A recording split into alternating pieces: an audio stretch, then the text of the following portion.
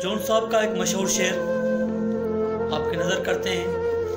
कहते हैं, हमें न आने वालों से मतलब था। हमें न आने वालों से मतलब था।